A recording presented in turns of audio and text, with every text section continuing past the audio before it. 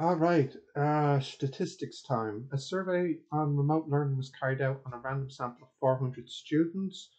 135 of the students preferred remote learning over in-person learning. For parts A, 1, 2, and 3, give all solution as decimals, four decimal places. Work out the proportion of the sample that preferred remote learning. 135 over 400 to four decimal places. 0.3375. Use the margin of error 1 over root n to create a 95% confidence interval for the proportion of the, the population that preferred remote learning. Now, there are two formulas for this.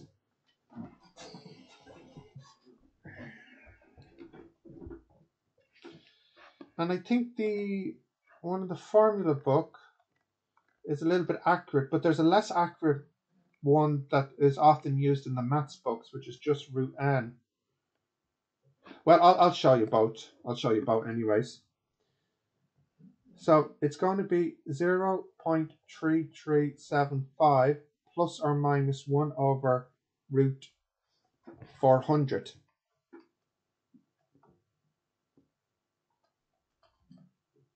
So at the upper end, the positive end, that's 0 0.3875. And then at the lower end,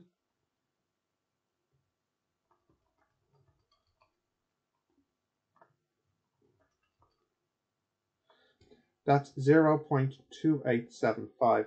There's a slightly more accurate formula where it's the proportion plus or minus 1.96 times root uh, the proportion times 1 minus the proportion over n, where that's the proportion. So I'm just curious to how similar or different that formula would be if I used it. So let me see. 0.3375 plus 1.96 root um, 0.3375 times 1 minus 0.3375 over 400. 400, not 40. Pretty close, 0.3838, nearly the same. And then at the lower end, 0.2912. They're the two formulas you can use. I'm guessing because they said this in the question, they want this guy. Uh, but sometimes they don't specify, and so you have two possible solutions here. So I'm going to say it's this one I think they're looking for. But you can see that there's not a huge difference between them anyways. Use the proportion from part A1 um, to create a 95% confidence interval for this population portion that is more accurate than the 95%. oh, that's so hilarious. I literally just did that in part two, right here. That's literally what I just did. That's more accurate. Isn't that gas? Use the proportion of part A. Yeah, okay. That's so funny. That's so funny. All right. And now a hypothesis test. Uh, in 2019, people with prepaid mobile phone plans spent on average 2079. In 2021, some students carried out a survey to see if this figure had changed. The survey of 500 people, and they got 2216, a standard deviation of 12. Carry out the 5% level to see if it shows a change in the monthly spending Okay, null hypothesis. Null hypothesis is that the average is still 2079 euros. And the alternative hypothesis is that it's no longer this, it's changed. We calculate the test statistic as x minus mu over sigma over root n, which will be 20.79 over um, sorry, 20.79. No, I'm looking at the wrong number. Uh, bum, bum, bum, bum, 22.16 minus 20.79 over 8.12 over root 500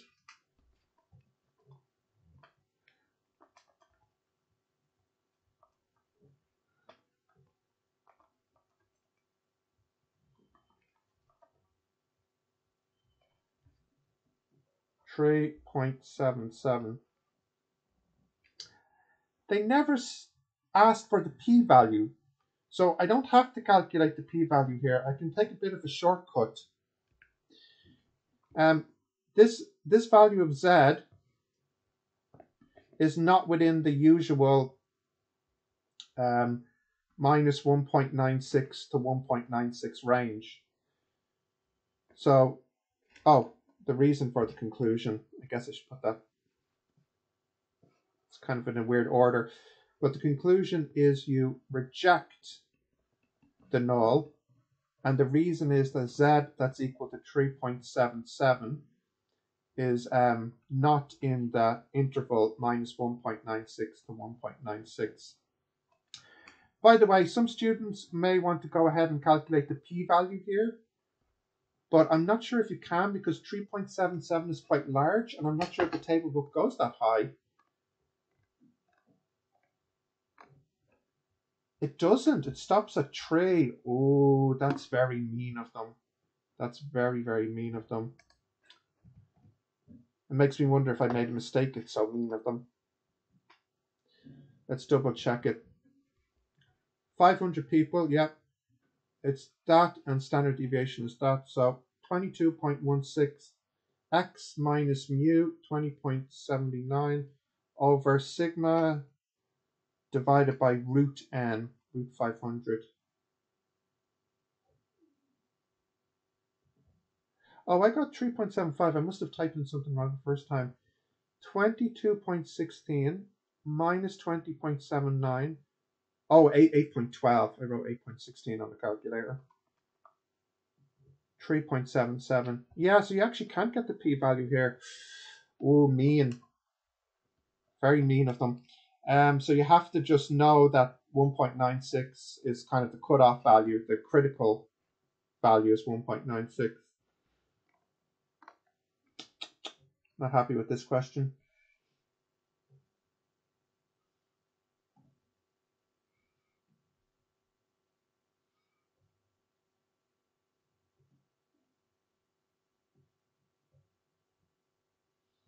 Yeah, these are called the critical values, by the way. And I'm really, really, really surprised that they gave such a Z value because it means that students who wanted to calculate the p-value can't. And they sometimes ask for the p-value, so it's quite unusual.